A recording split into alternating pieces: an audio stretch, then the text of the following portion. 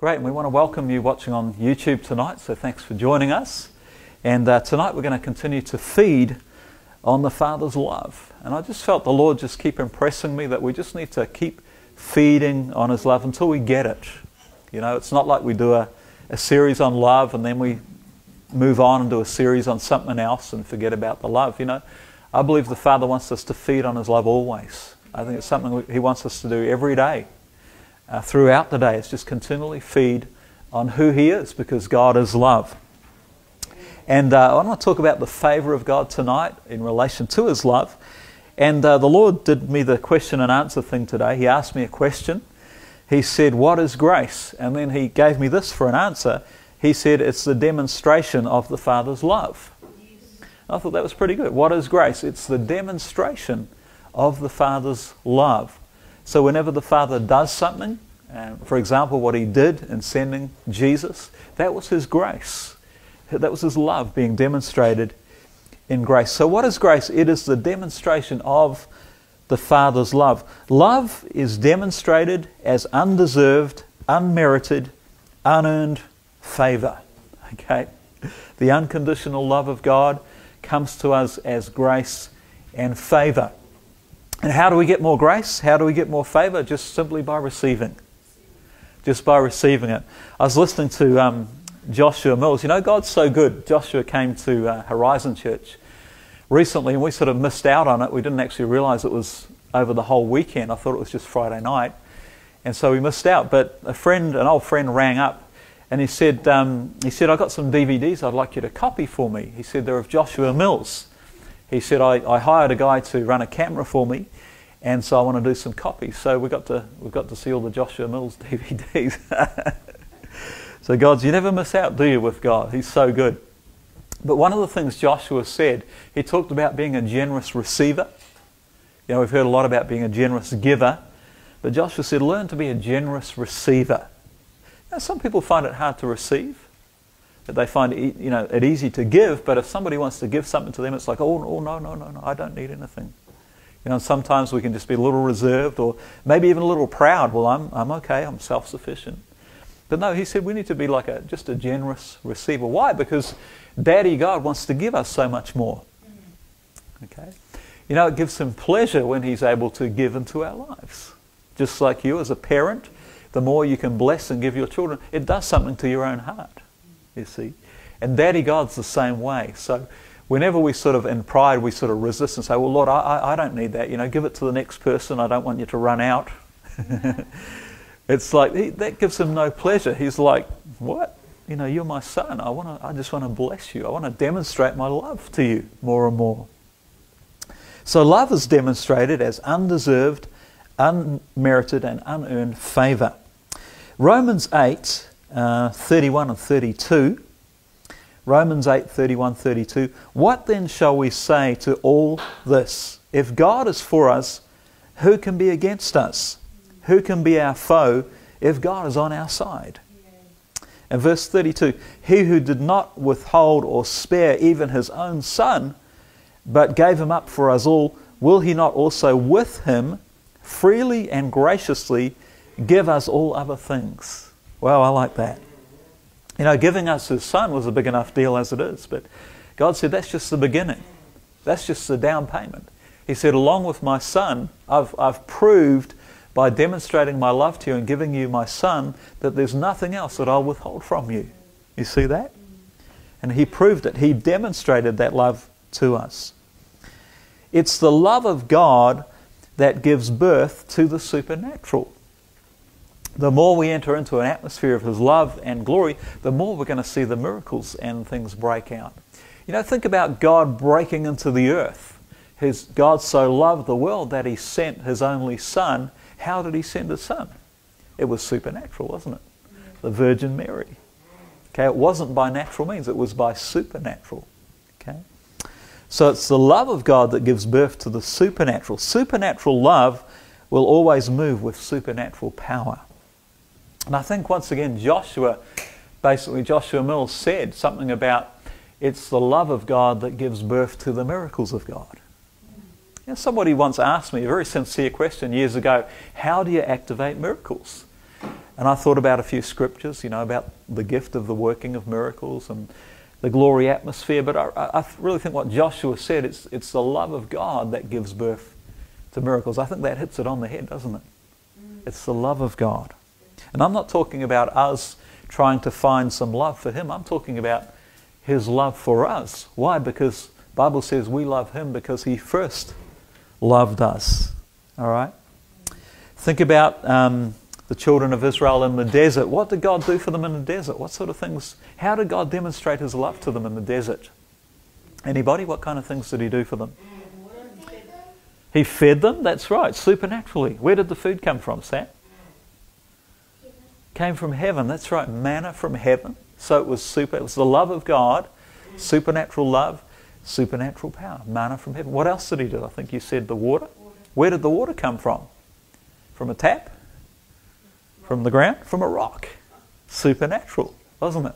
The rock was a type of Jesus.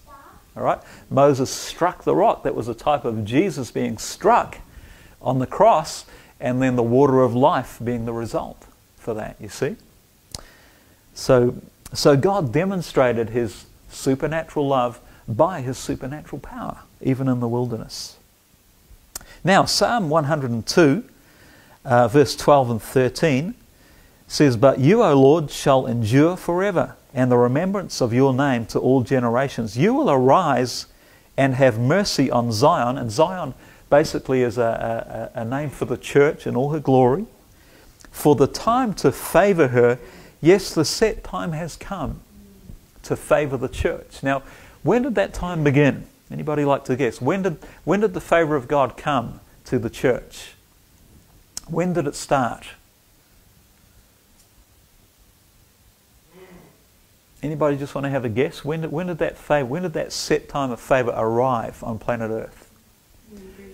When Jesus came, exactly right. Remember, he said, I am your jubilee. I am your year of jubilee. I am your debt cancellation.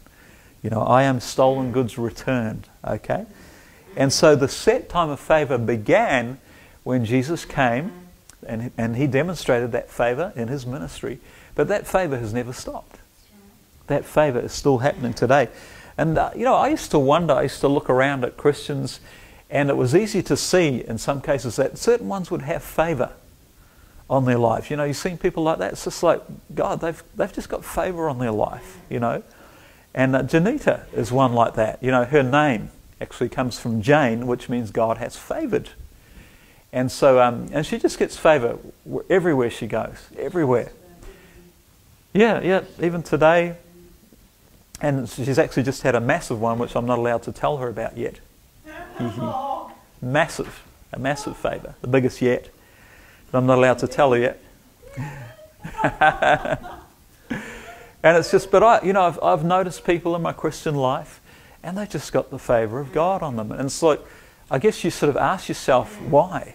Why does one have more favour than another? Does, does God seem to love them more, or are they more pleasing to God? Is it something they've done to deserve it? But, you know, I've come to the conclusion that it's, it's because they believe that they're loved. It's because they believe that they're loved. And when I think about those people even now, um, that's true. They, they know that they're loved by God. They just know that God loves them. You know, just like the Apostle John, we talked about him. He said, I'm the disciple that Jesus loves. He wasn't being arrogant or puffed up. He just knew that he was loved. And so the set time to favour the church is here now. Favour is here now. And, and as you actually believe that God loves you, guess what? Favor just happens. You don't have to try and get it. It just happens to you. Why? Because you believe you're loved and you believe that God's going to demonstrate that love, and that's called favor. Because he said, How will he not also freely give us all things? In other words, there's some more things that he wants to give us physical things, material things in this life. Okay, we're going to just study a little bit through some uh, scriptures in the Psalms and the Proverbs on favour. And so I encourage you to take a note of these just so you can feed on them or listen to the YouTube. So Psalm 5, verse 12 says, For you, O Lord, will bless the righteous with favour. You will surround him as with a shield. You will surround him as with a shield with favour. In other words, this idea of God's love and God's favour is there's an idea of protection there. You know, once again, you think of people that are favored, it's like nothing ever seems to go wrong in their life. you ever notice that? It's like the, the enemy tries to touch them, but they just get more blessed. Why? Because that love is just like a, it's just like a shield around about them, that favor of God. Okay, um, so for you, O Lord, will bless the righteous with favor. You will surround him with a shield. Um, now, the New Living Translation actually proves my original answer. It is a demonstration of the Father's love. It says this For you bless the godly, O Lord, you surround them with your shield of love. So the New Living Translation picks up on the fact that grace is a demonstration of the Father's love. So that was a confirmation of what the Lord gave me. For you bless the godly, O Lord, you surround them with your shield of love. Now, here's the interesting thing about this word shield. It's very interesting. A lot of times the Bible talks about a shield, it just literally gives the idea of a, of a Roman shield, or sometimes a buckler, which is like a small round combat shield. But this shield has a totally different meaning. This, uh, this particular word shield has to do with uh, something that is prickly, something that is sharp, and it comes from a root word that actually means a cactus hedge. a cactus hedge.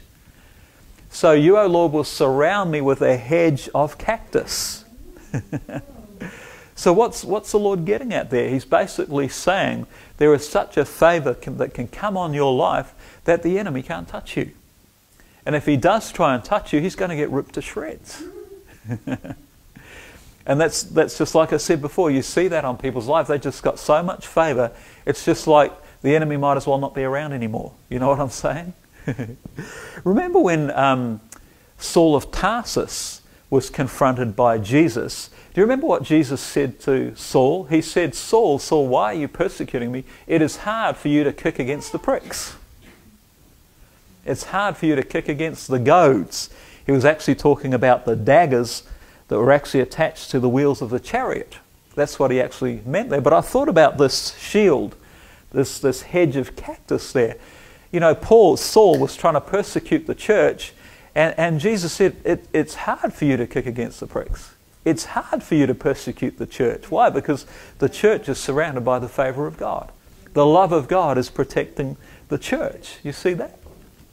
And so we have this idea of favor being um, not only protective in a sense, but you would say it would also be an, what's the word, an offensive type of weapon as well. Because wherever you go, you know, people are going to get out of your way, aren't they? if you're like a hedge of cactus, man, people are going to they're going to part like the Red Sea and let you through. And so, what an awesome picture for us to have of the favor of God. So, here's some, some thoughts along with that. No weapon formed against us shall prosper. All right? We are more than conquerors through him who loved us. That love, that favor, and so on. Okay, here's another, another couple. Psalm 30, verse 5 For his anger is but for a moment, talking about the Lord, his favor is for life. Weeping may endure for a night. How many remember that night? Weeping may endure for a night, but what happens in the morning? Joy comes in the morning. Now, his anger is but for a moment. Can anybody specifically tell me what that means? When, when was that moment where God's anger was demonstrated? On the cross, exactly. God poured his anger against all sin and unrighteousness. He directed it to Jesus on the cross because Jesus became sin with our sin. So for a moment, all of God's wrath and anger was poured out on his son. But then it says, but favor is for a lifetime. And so there's no more anger directed to anybody, not even the person that doesn't know God. Okay? Uh, at the judgment, if they still don't know God, well, that's a different story. Okay, there will be a judgment for the person who doesn't know God. But for the believer, all God's anger was poured out on Jesus, and there is no more anger for us. There's only favor. There's only God's goodness. There's only God's pleasure and God's acceptance towards us. So his anger is but for a moment, his favor is for life. You could wake up tomorrow morning and say, another day of God's favor. I'm God's favorite. God loves me. His favor surrounds me like a shield. What are you doing? You're putting up that cactus hedge around you. You're, you're serving notice on the enemy. Enemy, you better not stand in my way today. you know, he was trying to get me down the other day because I'd missed that opportunity by a couple of days and I had to pay an extra $60. But you know what? I just reminded myself that God loves me. And it wasn't just but a couple of hours later, $100 check turns up at the door. Amazing, isn't it? That's the favour of God, isn't it? That's the favour of God. Okay, here's another one. Psalm 84, verse 11. For the Lord God is a sun and shield. The Lord gives grace and glory, or we could say favour and glory. No good thing will he withhold from those who walk uprightly. Okay? Awesome, isn't it? So he's a sun and a shield. What about walking uprightly? Well, what does that mean? That means to walk in your God given righteousness. That means to walk with the sense of, I'm a child of God. God has made me righteous through his blood. I believe in Jesus and I've been made righteous. That's what it means to walk uprightly. To walk in your sonship. It's not talking about you know, your own good works. It's talking about God's righteousness on your life, walking in that. He will give grace and glory. Um, in the Amplified Bible, same verse, for the Lord God is a sun and shield. The Lord bestows present grace and favor and future glory, honor, splendor, and heavenly bliss. No good thing will he withhold from those who walk uprightly. I like that. Heavenly bliss. you know, that's, uh, that's one of the things we've learnt in this recent season is this is not all about, you know, getting out of this rotten earth trying to get to heaven for some heavenly bliss. This is about heaven coming to earth. Amen. This is about God's kingdom coming from heaven and colonizing the earth. Okay, Psalm 91, verse 4 He shall cover you with his feathers, and under his wings you shall take refuge. His truth shall be your shield and buckler. Okay, so his truth is like a shield around us. What truth would that be? The truth that he loves me? The truth that he is like a mother hen and I dwell under the shadow of his wings? That's a picture of love, isn't it? It's a picture of paternal love, parental love. And so the truth about his love is a shield round about me in Psalm 91. The truth about how much he loves you. Praise God. Who's been practicing that just during the week saying, Father, you love me. You've been, you've been doing that? Just do it as, as often as you can and, uh, and just keep feeding on how much He loves you. How many have found that the enemy's tried to take you to task on that? Yeah. He'll try and tell you, well, you spent too much time on, on this love stuff. You know, you need to have some balance here and get on some other stuff here. You're getting out of balance. All you're doing is focusing on God's love. And you can see that He's terrified. He's terrified about you knowing that you're loved. He hates it. Okay, but the Bible tells us that there is a testing of our faith. The parable of the sower says the enemy comes immediately to try and steal that seed. And I, I've been aware of it, so I just double up. I just double up on saying, Father, you love me. You love me, you love me, and you love me some more. You just rub it in the devil's face. Say, I am loved. And especially when you did something wrong, that's when the enemy comes along and say, Well, does God love you now? Yes, my Father loves me even when I make a mistake. Ha ha ha. okay. So, Psalm uh, 8, verse 35, in the Amplified Bible says, For whoever, actually, I think this is probably supposed to be a proverb, sorry, to be Proverbs 8:35. Whoever finds me, that's wisdom, finds life and draws forth and obtains favor from the Lord. Okay? So, whoever finds wisdom finds life and obtains favor from the Lord. Now, the interesting thing is that Jesus came along and he said, I am your wisdom. He said, I am your righteousness. So whoever finds Jesus finds favor. How many found Jesus? if you found Jesus, then you've got favor. You've obtained favor from the Lord. Uh, Proverbs 11 27. I'm just giving you a few scriptures tonight because I want you to go home and, and feed on, on these. So Proverbs 11:27 He who earnestly seeks good finds favor but trouble will come to him who seeks evil. We could put it another way He who expects good will find favor, but he who expects trouble will find evil. You know, there are two types of people in the world there are those who expect good things to happen, and those who expect bad things to happen. Okay, so really what this verse is saying is if you expect good to happen, you will find favor. Because an expectation of good is really your faith in Father God. An expectation in trouble is actually faith in the enemy when you think about it. If you're expecting bad things to happen all the time, then you've got more faith in the devil than you have in Father God. But if you expect good things, you're telling God that He's way more powerful and way more bigger than the enemy is. All right? We should only expect good things to happen because the Bible says only good and perfect gifts come from our Father. Okay? So, um,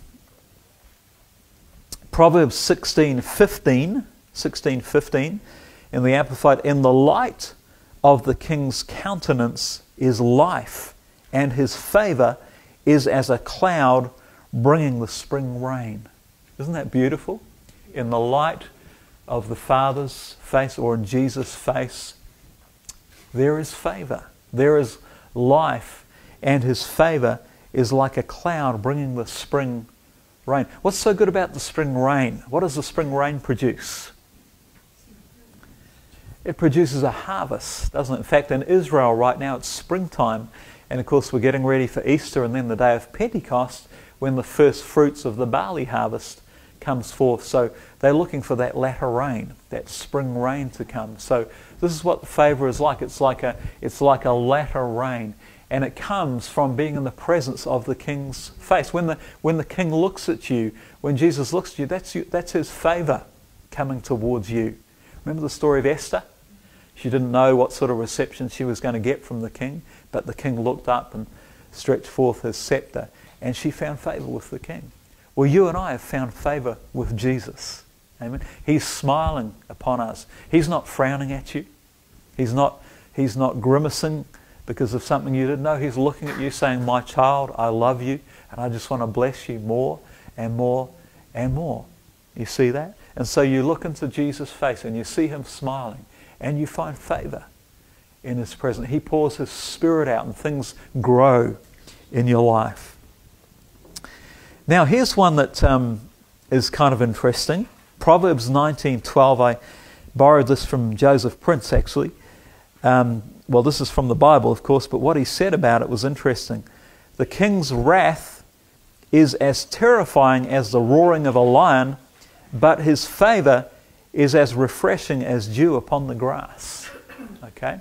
Interesting. The king's wrath is as terrifying as the roaring of a lion, but his favor is as refreshing as the dew upon the grass. And, you know, um, sometimes in religion, you know, people will say, well, you know, when you do right, God is happy with you and He'll give you favor. But when you do wrong, you know, God's angry with you, you know, the king's wrath, and don't expect anything good to happen in your life, kind of thing. So you're kind of thinking, mm, man, I hope I've done good enough to, to earn favor from the Lord, and I hope I haven't displeased Him in any way. But what Joseph Prince shared about this is really, really powerful.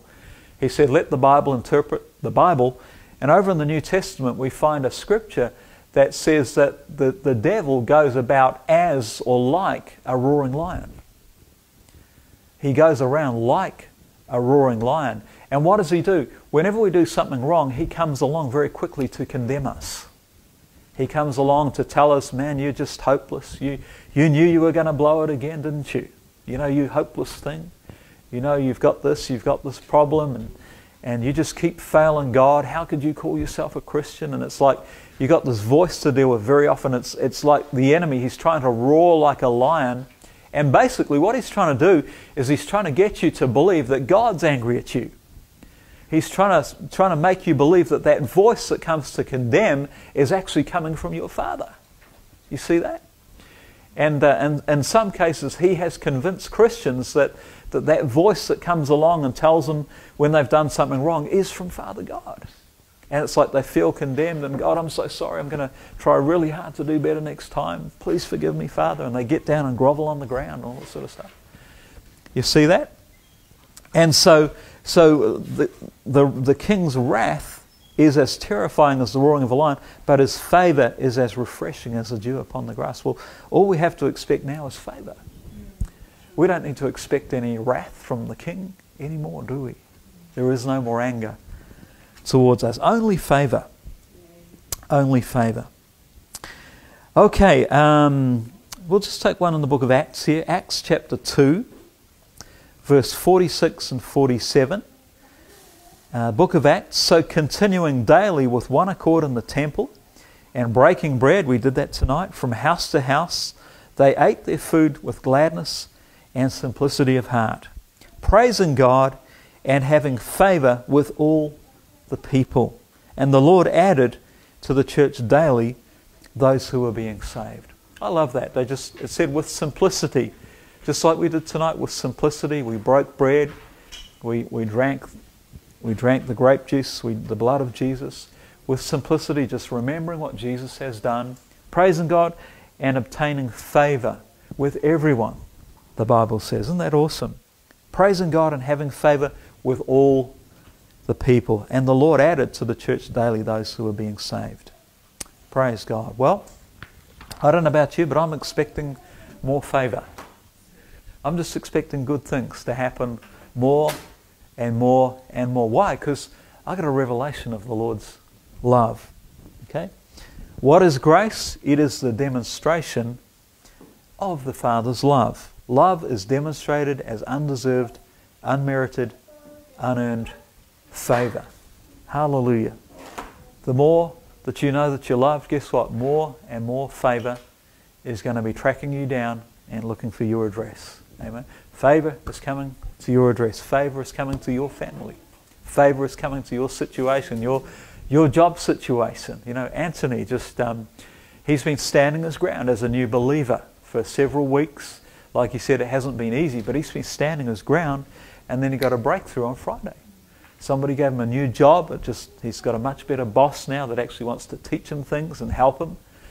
And uh, and then, you know, he got that blessing. So it's awesome, isn't it? And I just love it because Anthony came last night to the new believers class, and uh, last night was just all about John 3:16. For God so loved the world that He gave His only Son, that whoever believes in Him will not perish but have everlasting life.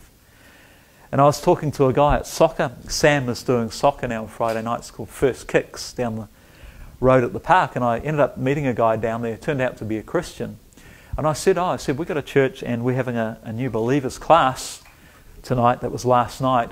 And he said, he said, you know, he said, I used to get involved in the new believers class. And he said, that was the favourite thing that I ever did. He said, because it would bring you back to just the simple truths of the Bible. You know, sometimes we get complicated. And he said it would just bring you back to, you know, for God so loved the world that he gave his only Son, that whoever believes in him would not perish but have everlasting life. And I said, yeah, it's so refreshing, isn't it? just to come back to that thing that God loves me. And He demonstrated it by sending Jesus to take my sin, my shame, my poverty, my rejection, my rubbish, you name it, He took it. Amen. And He just gave me everything good in return. What, what's that called? Unearned, unmerited, undeserved favour of God. Hallelujah. And I'm all for it. Praise God. How about you? How many want more? and God wants to give you more. Amen. He just wants you to be a generous receiver. You've been generous givers. Now it's time to be a, a generous receiver of all that He has for you. Amen. Praise God. Well, you've been great tonight. Would you like to stand up on your feet and we'll just close off with a prayer and have some supper and get to know these, these new people here. So great to have you here. Hallelujah. Let's just lift our hands up to the Father tonight. Oh, Father, we want to thank you tonight. Just as Christine shared before, that it's just good to give you thanks. And we just say, Thank you, Daddy. Thank you for loving us so much. Thank you for sending your Son. That you demonstrated your love. You gave, you gave it your best shot. You gave your very best. You gave your Son, your perfect, spotless Son. You gave His blood for us. And we thank you that we've been brought into your family and brought into your favor. And we're just so thankful that the testimonies that we've heard tonight and testimonies we can think about over the recent times of things that you've done, favour that you've given us. We are just so thankful, Father. Lord, even for the little things like the 10 cent coin today for Sam. Lord, you just think of everything. Hallelujah. And I just thank you for each person here tonight that they are the object of your favour. That you've brought them here tonight to tell them how much they are loved and how much you want to bless them and favour their lives and do great things for them. Thank you, Daddy. We bless you, Father. We just, we just declare your favour this week. Father, in the places of study, in the workplace, in the clinic, in the homes, we just declare your favour. We just thank you that your face is shining upon us and shining upon our neighbourhoods, Father. Hallelujah. We bless you, Lord. We bless you. In Jesus' name, amen. Amen. If anybody would like um, prayer for healing or anything tonight, just, just come forward. It's just a presence here, and I just feel a, like there's an anointing. So anybody want some healing, just, just come on forward and we'll pray for you. You want some healing? You were hobbling around a bit there, weren't you? Have a seat. Oh, it's your neck, is it? Yeah, your neck. Okay. Mm. Do you know? Do you know why God's going to heal you? Because He loves you. so it's done. It's a done deal. Father, we, we thank you for Siwa tonight. Father, we thank you that you just love her so much. Your favour is resting upon her. And Father, we just know right now that she's healed. And we release it, Father. We release that healing. A perfect work, Father. There it is. Thank you, Jesus. Just move your neck around now. Move it around. How's that feeling? Feeling real good? 10 out of 10? Yeah. Awesome. Amen. Yeah, give the Lord a hand, eh?